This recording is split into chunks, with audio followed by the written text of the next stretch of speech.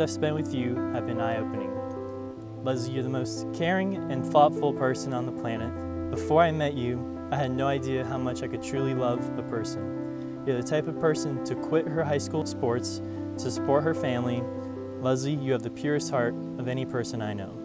You will do anything for your family and your loved ones.